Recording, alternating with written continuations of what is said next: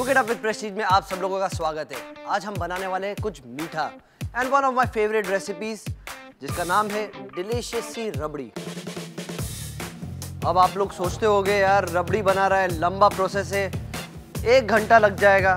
But I will show you a very quick and fast recipe जो 20 minute में बन जाएगी। To see is to believe this is what cook it up with Prestige is all about अब मैं इस sauce pan में दूध डालूँगा। यहाँ पर हम यूज़ कर रहे हैं granite non stick cookware okay अब हम इस दूध को एक उबाल आने देंगे, उसके बाद हम इसमें और इंग्रेडिएंट्स डालेंगे तो दो मिनट के लिए वेट करते हैं, जब तक एक बढ़िया सा उबाल आ जाए। The good part about this granite cookware is this is scratch resistant अब हम इसमें थोड़ा सा शक्कर डालेंगे। आपको अगर ज़्यादा मीठा अच्छा लगता है तो आप ज़्यादा शक्कर डालिए। कम मीठा अच्छा लगता है तो कम शक्कर डालिए। अब रबड़ी होती है बढ़िया सी थिक डिलिशियस अब इसमें हम एक थिकनिंग एजेंट डालेंगे और हम इसमें डालेंगे condensed milk good amount of condensed milk अच्छी तरीके से मिक्स कर लूँगा।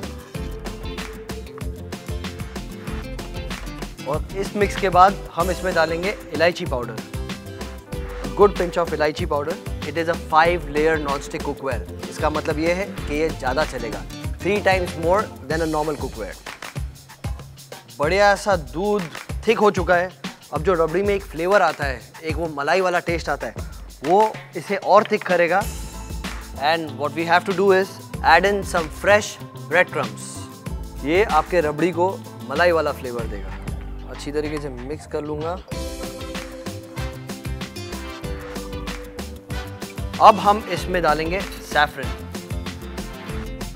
यानी कि केसर। बढ़िया सा कलर भी देगा और एक बढ़िया सा अरोमा भी आएगा। एक काम करते हैं, इसको थोड़ा सा और रिच बनाते हैं। इसमें मैं डालूँगा पीसे हुए पिस्ता।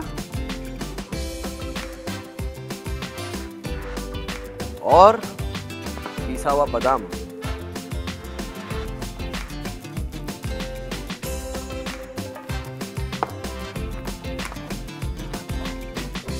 ठीक हो चुका है।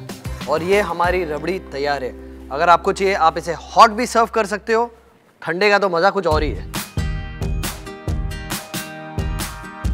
इंस्टेंट सी रबड़ी तैयार है। जब भी मीठा खाने का मन करे, बढ़िया सी रबड़ी बनाइए। देखते रहिए cook it up with Prestige.